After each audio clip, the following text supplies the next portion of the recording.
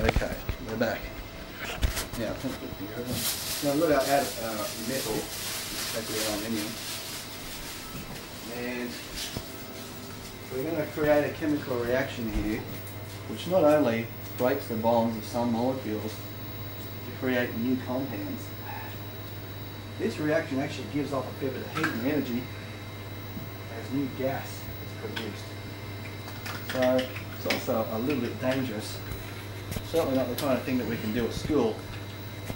And certainly wouldn't advise you doing this at home. Oh, yeah. That's a bit of acid there.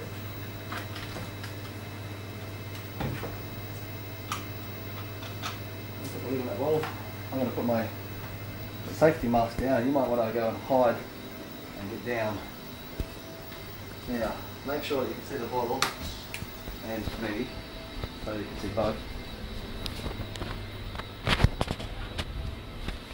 Now, what we're going to see here is a chemical reaction where hydrochloric acid is reacting with aluminium to create hydrogen gas. And that gas is creating pressure in the bottle behind me right now. That bottle is swelling up as the pressure builds up inside of it.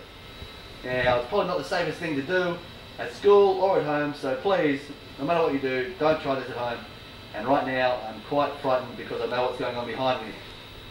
And I am very scared.